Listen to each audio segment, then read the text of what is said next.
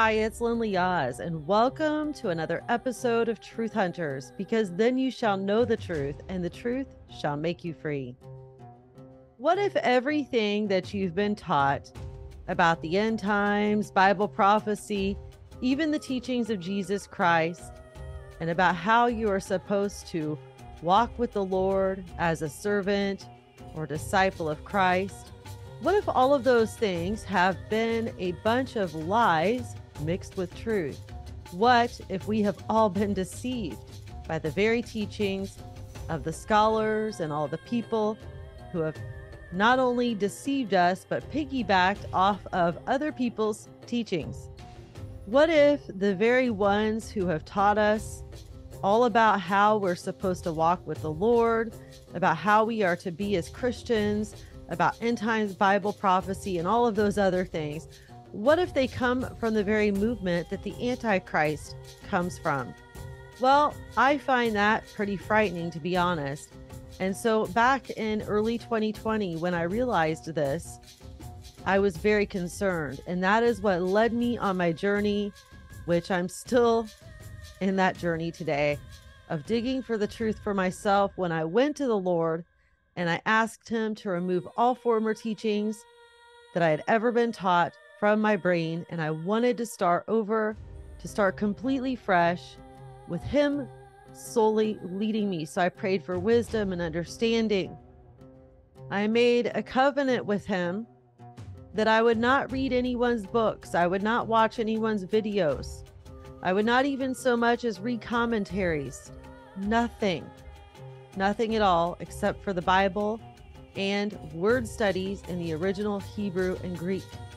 So I made a promise to the Lord that that is what I would do, and I'm still under that promise today so that I could find the truth. Are all of you so sure that you know the truth? Are you that positive? Have you searched for yourself as if searching for buried treasure? Have you gone to the Lord and asked Him to remove all former teachings, everything that you've ever been taught, and to have Him solely lead you through the Word of God for yourself, only doing word studies? Because Jesus Christ Himself even commented about this several times in the Bible. Among those times, you can find in Luke 10, where He begins to praise God. And He says, I praise you, O Father that you have hidden these things from the wise and intelligent and instead revealed them to infants or babes, people who are unlearned, uneducated. The wise and intelligent are the people with a education. So Jesus talked about it. He even said, unless you convert and become like a child, you will not enter the kingdom of heaven. So all of these things would lead me on this journey of finding the absolute truth. And I would have to be very obedient.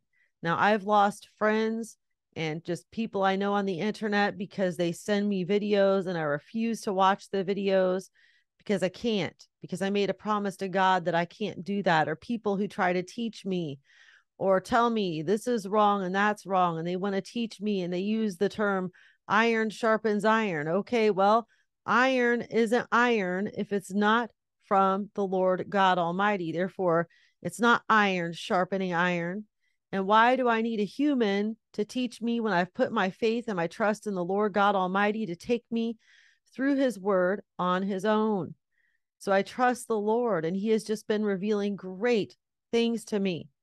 All of you should be very concerned about what you have been taught. The Bible tells us to work out our own salvation with fear and trembling. It also tells us to be like a Berean and study everything. It also tells us to study to show ourselves approved.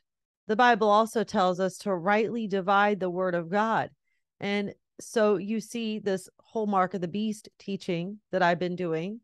What's very interesting is when we say the mark of the beast is literally something that goes on or in the hand or forehead, we are not rightly dividing the word of God because that is only found in the book of Revelation.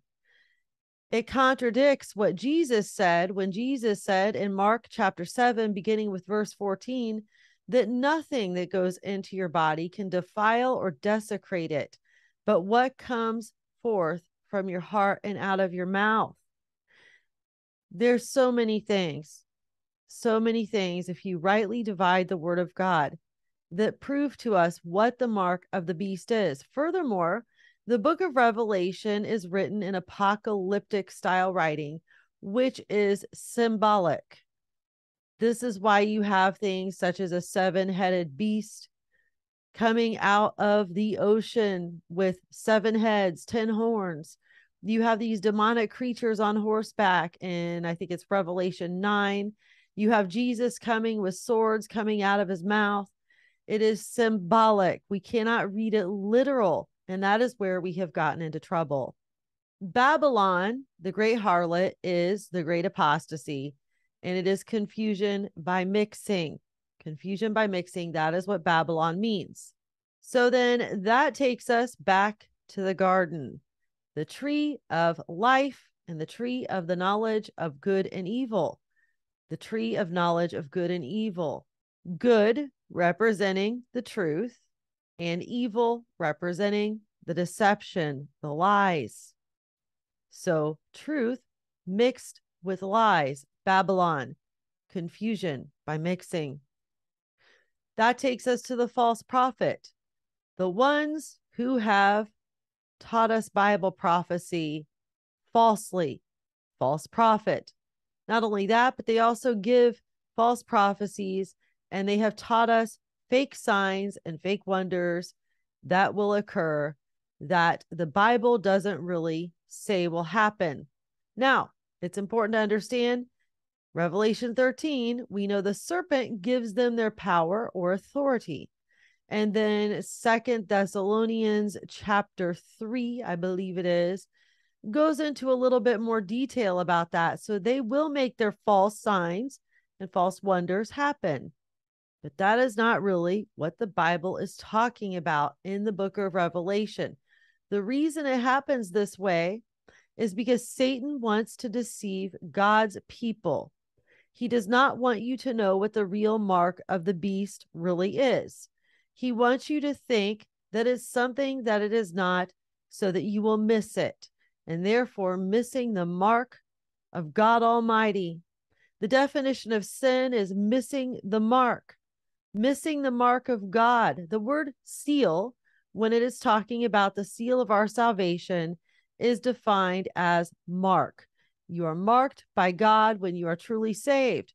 If you are not marked by the Holy Spirit, who is the seal or mark of our salvation, just remember the term in the Bible that is oftentimes used about circumcision or cutting of the heart if you are not marked by God with the Holy Spirit, the seal of our salvation, then you are marked by Satan, the mark of the beast, which takes place in your heart by rejecting Jesus Christ, Yeshua HaMashiach, and his salvation and following after counterfeit Jesus and the counterfeit spirit and a counterfeit gospel and a counterfeit God. That, my friends, is all over the entire Bible, which I have been revealing to you all. It's absolutely amazing when you sit down and study the Word of God for yourself with the Holy Spirit leading you and Jesus Christ, Yeshua, rabbi, teacher, teaching you. It's absolutely amazing all of the things you will discover that you have been lied to about. All of the things that you will discover when you do word studies that we are not really supposed to do as disciples of Jesus Christ, Yeshua. But it all depends. How open are you to the Lord God Almighty? Are you so prideful that you think you know it all already? I used to think I knew it all too. But look at the church of Laodicea. The church of Laodicea, they think they know everything. That's what it means about I am rich, I don't need anything but they need eye salve to open their eyes so that they can see and they need to be refined. So they think they know it all. They think that they're rich in the knowledge, rich in the treasures of Jesus Christ. But little do they know that they are naked and destitute. So, you see, my friends, it's time for us to really take these things seriously. Our walk with Jesus Christ, Yeshua, is much deeper, much more serious than what we have been taught. As I continue studying the Word of God and going through things, I am in awe daily at the things that I find, and I am stricken with conviction at the things I had been doing in my life that I never even realized were sin. Jesus is coming for a bride who is spotless and without blemish or wrinkle. Ask yourself do you really trust the teachers who have taught you everything and the preachers and the pastors who may very well have had good intent but were deceived themselves? Do you trust them with your eternity? Throughout the Bible, we see many writings about the lazy person, the sluggard, and how it is to their own destruction. The overall majority of alleged Christians today want to be spoon fed. That's where the laziness or the sluggard comes in. They want to be spoon fed. They rely on their Sunday morning pastor, they rely on their books, they rely on their videos, they rely on their commentaries, they rely on their self helps, their PowerPoints, whatever, their daily affirmations, maybe reading just a chapter in the Bible or a couple verses here and there for comfort. They rely on all of those things without deeply searching the Word of God for themselves. And it is a lot of work, but I will tell you, it is so enjoyable when you really seek the Lord and he opens up a whole brand new, I don't know, dimension of the Bible to you. It's like peeling back layers of an onion. There's all these different layers, and it is so exciting. And you hunger for it. It's like the first thing you want to do once you begin to really do it and to set aside time and to study the word of God for yourself. The Bible tells us that Satan has raised up many false teachers. The book of Revelation, chapter 13, when it talks about the voice or the mouth that is given to the image of the beast, that word is defined in Greek as preachers. And it is deeply rooted in teachers also.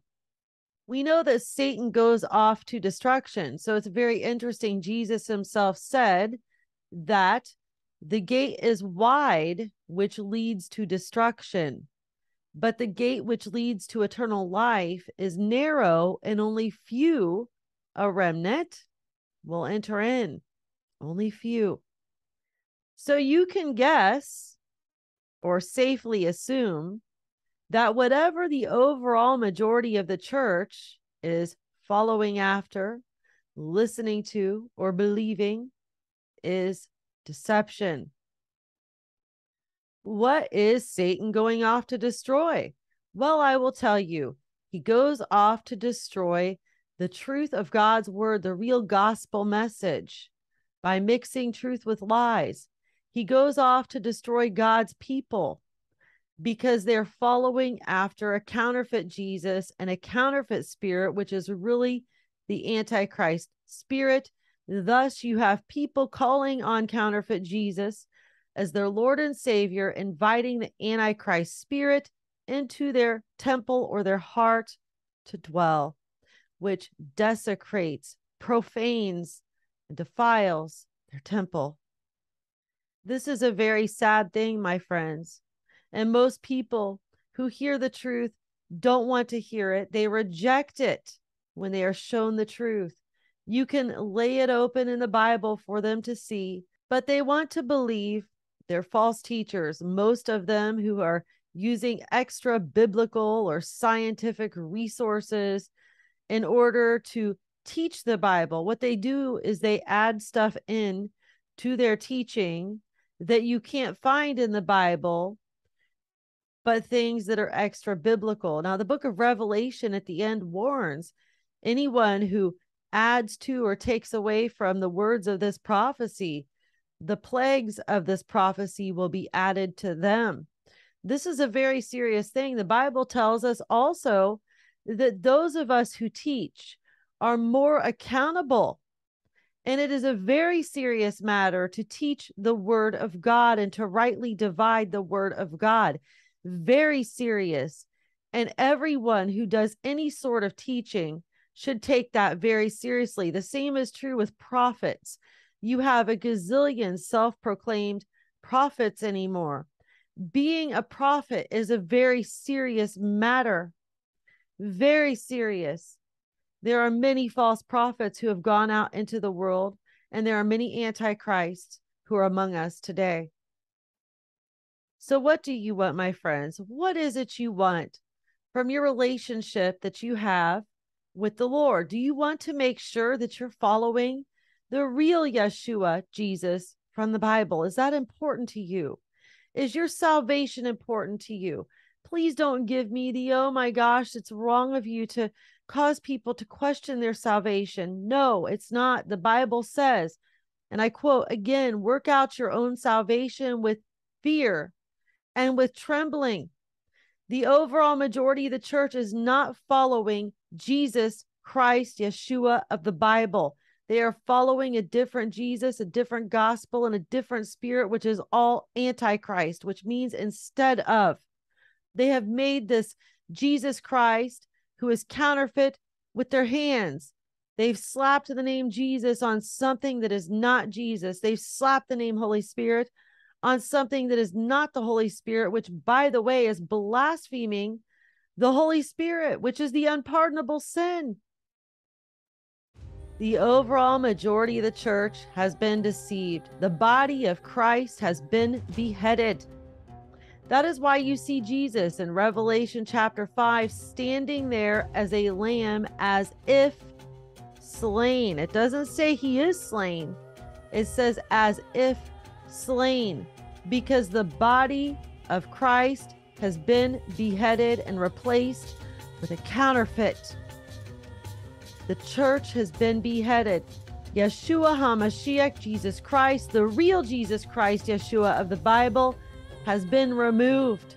The real Holy Spirit has been removed. The real God Almighty has been removed. That is why the tribulation period is a time of darkness. That is why the sun goes dark.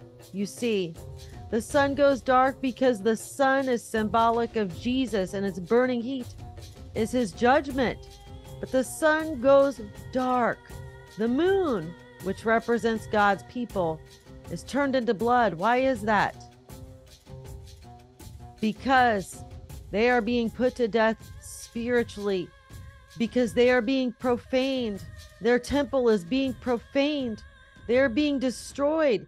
Satan goes off to destruction, destroying the people of God. But yet, this is all happening and has been happening, and people don't see it. Instead, people see what's going on in the world.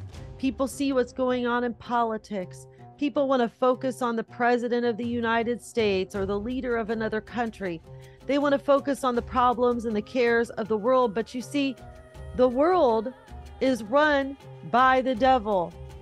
God gave him dominion until Jesus Christ, Yeshua, returns. He is referred to in the Bible, we're talking about Satan, as the God of the world. So, why would it surprise us the evil things are going on in the world? Why does abortion surprise us? Why does murder and every horrible thing that goes on, God being taken out of schools and all these other things, why should that surprise us when Satan is the king or the God of the world? Should we just do nothing? Well, no, we need to pray for the world. We need to pray for its leaders. We need to pray for those things.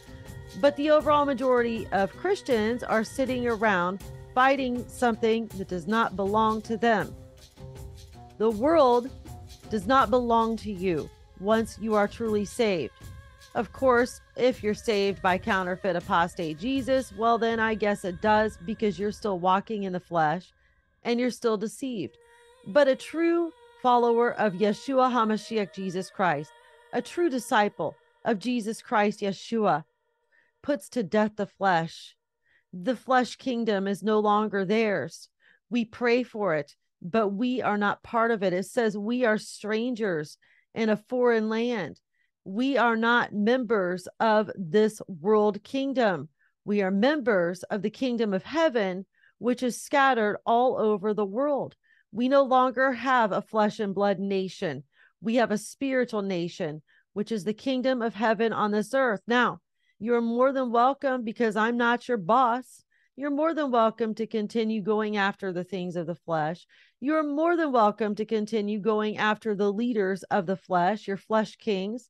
But God Almighty sent to this earth Jesus Christ, Yeshua, to be our final, once and for all, flesh king and God in the flesh at the same time. And so you see, Jesus Christ, Yeshua, he's my leader. He's my king. He's my captain. He's my chief. He's my president. His is the kingdom I belong to.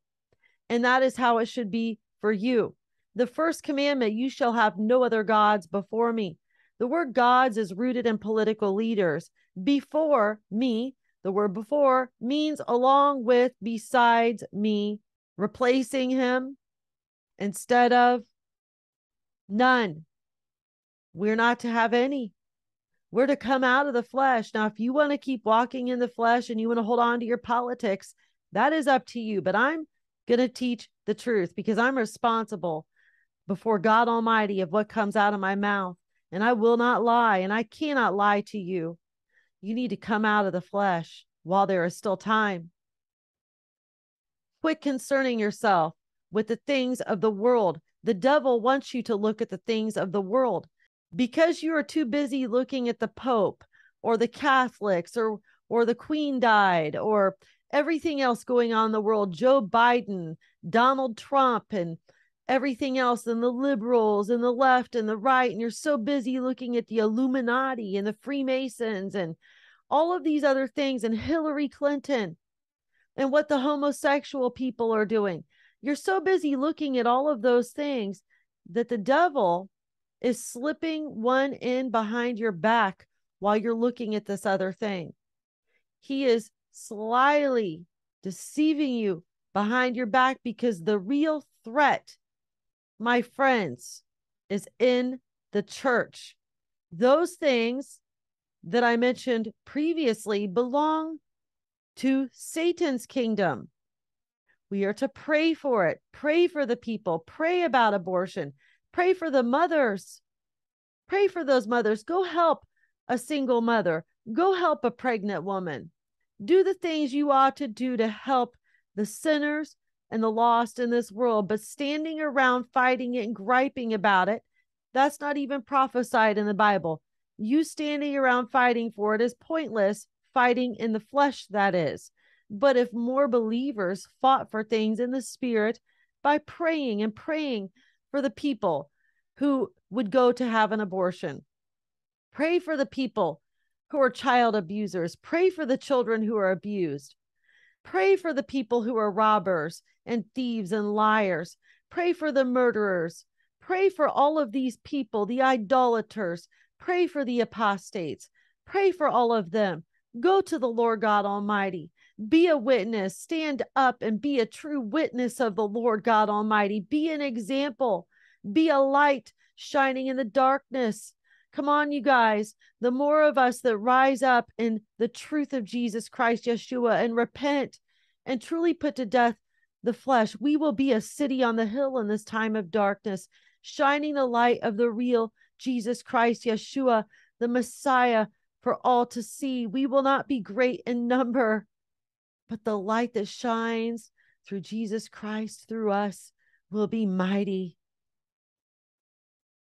Come out of the flesh, come out of Babylon. The church today teaches a message that is about the flesh. It's the truth mixed with lies. So they have a little bit of spirit mixed in, but it's all about the flesh. Jesus Christ, Yeshua of the Bible, he didn't teach about a flesh kingdom. He taught about putting to death the flesh. He taught about a spiritual kingdom, and that is the kingdom of heaven ruled by God Almighty and Jesus Christ, Yeshua, and the power of the real Holy Spirit. That is the kingdom Jesus Christ, Yeshua taught of. He didn't come here and tickle our ears at all. He didn't tickle our ears with a flesh kingdom or a flesh appealing message. In fact, he said, I didn't come to bring peace, but I came to bring a sword to set a mother against her daughter, a father against his son. I came to divide. Are you consecrated of God? Are you set apart?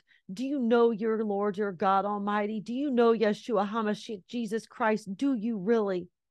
Because the Jesus Christ, Yeshua of the Bible, does not approve of living in sin. The Jesus Christ, Yeshua of the Bible, does not approve in you fighting over political matters or flesh matters. He said, Love your enemies and pray for those who spitefully use you and persecute you. He said, If someone steals from you, give them more. Are you loving your enemies and praying for those who spitefully use you and persecute you? Or are you spending your time online on social media griping and complaining about those people, posting things, making fun of those people, posting things, insulting those people? Well, let me just tell you this no matter how much you hate a political leader, number one, hatred for a person doesn't come from God. Number two, God is in charge, and God placed that person in their position for this time to fulfill his purposes. That is what God wanted, or it would not be the case. So when you fight it and insult it and put it down, you're actually shaking your fist in the face of God Almighty because He is the one who appoints every leader for every nation in this world to fulfill His plan. And what are we as willing slaves supposed to do? You know, someone just commented about we're not slaves. Yes, we are. Go study your Bible. Revelation chapter 1, bond servants, definition, slave, willing slave. You're either a slave of the kingdom of hell or you're a slave of the kingdom of heaven. Take your pick. There's no in between, and there's only those two things you can be.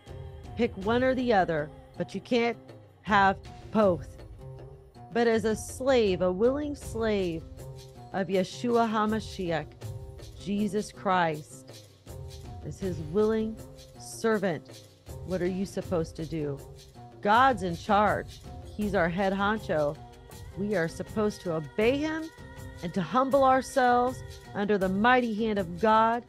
And we are supposed to pray for our enemies. It is not your place to rise up and to shake your fist in the face of God and to insult, put down, make fun of, whatever the people God has put in place.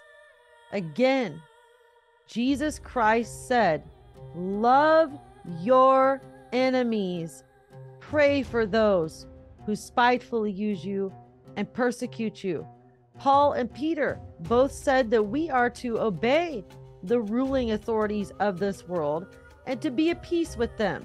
Now, ultimately, if you are asked to do something that goes against the word of God, you peacefully decline. That means you take the punishment. Why do you take the punishment? Well, Jesus was our example and is our example. You can also see all of the disciples and the early church. Those are an example for us too.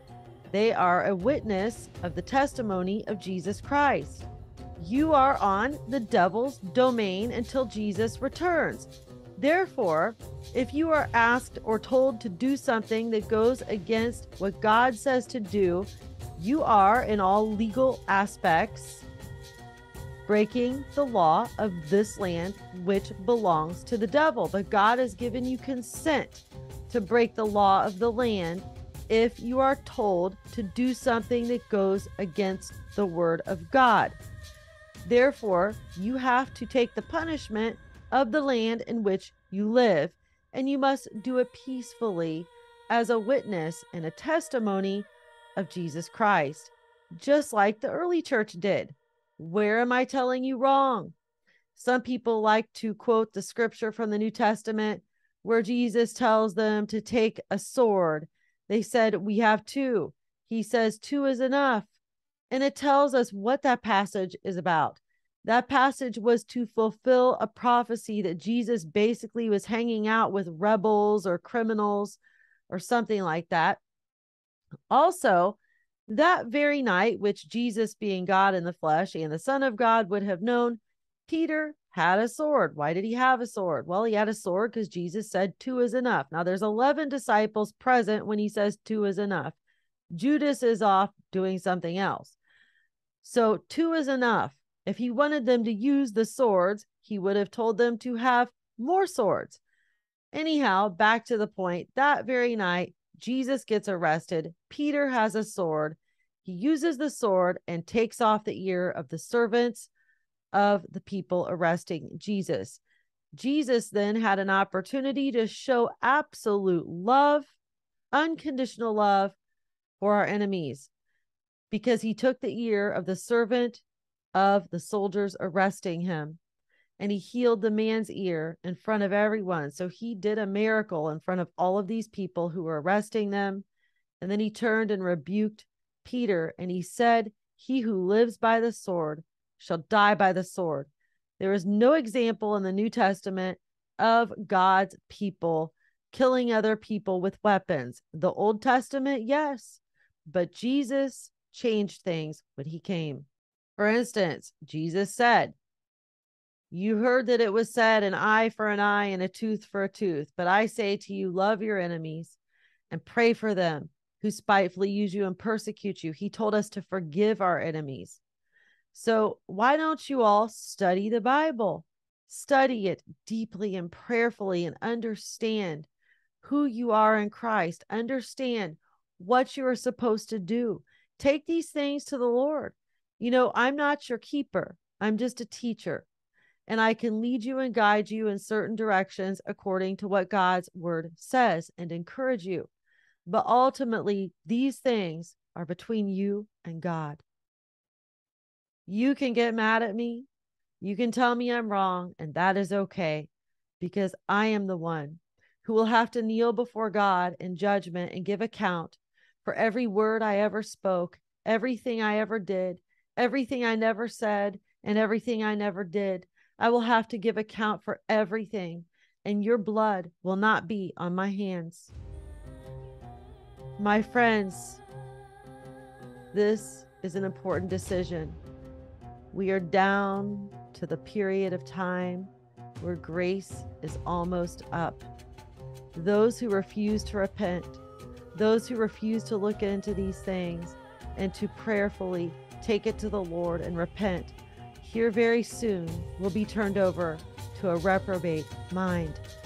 And when they are turned over to a reprobate mind, they will be marked with the Antichrist spirit in their heart, divorcing God, divorcing Jesus Christ, Yeshua, divorcement, adultery, idolatry against God Almighty.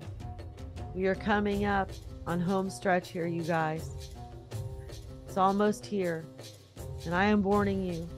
I am just a voice crying in the wilderness, a light shining in the darkness, a guiding light leading you, not by my own light, of course, but the light of Jesus Christ, guiding you and leading you to the truth. But it is up to you, my friend. It is up to you to really search these things out prayerfully for yourself. It is up to you to repent. It is up to you to begin to question everything.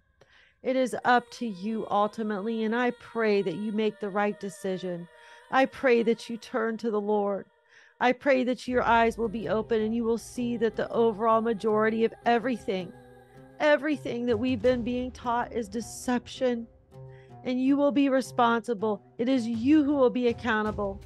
On that day, you will be accountable, even in your ignorance, if you choose to be ignorant. You will be accountable. It is you who will have to answer to God. It is your eternity. It's not my eternity, it's your eternity. It is between you and the Lord. If I don't tell you these things, then I will be partly accountable for your eternity. Your blood will be on my hands. And I can't do that. I take this way too seriously. And trust me when I say I'm not making money speaking the truth, I'm losing. I'm losing support by speaking the truth. I have lost support on Patreon. I have lost support here on social media. I have lost all sorts of support. I'm shadow banned. I'm hindered from every side.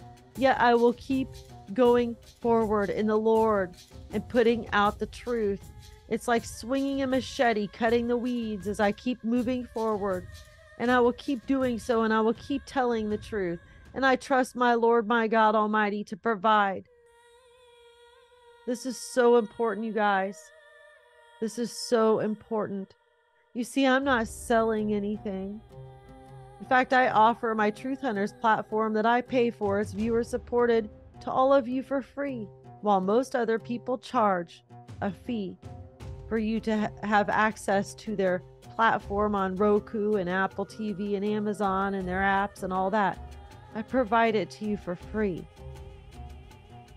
There's nothing I'm selling. I don't have a book I'm peddling. I don't have a product. The only thing that I'm trying to tell you and to do is to glorify the Lord God Almighty and to get you to see the truth and to repent. All I'm trying to do is to open your eyes and open your ears to the truth of Yeshua HaMashiach, Jesus Christ. My reward, my friend, is in heaven with the Lord. During my short stay on this earth, doing what He has chosen for me to do, I will receive persecution. I suffer all the time in the spirit. I get attacked and all sorts of things. But my reward is in heaven. My friend, if you repent and call upon the real Jesus, ask Him to reveal Himself to you. Search as if searching for buried treasure, even more as if you're looking for the cure to a deadly disease that maybe you or your loved one has. Search the scriptures like you know it's in there. The answer, the cure. You will find it. Search deeply, do the word studies, forsake all former teachings. God bless all of you. Thank you so much for watching this message. Thank you for listening.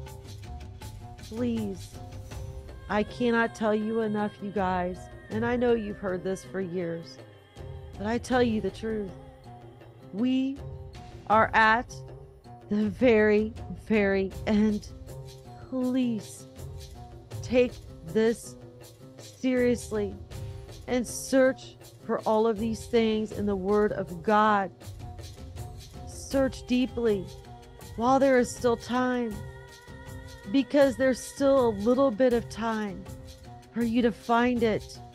And then you will know the truth, and the truth will set you free.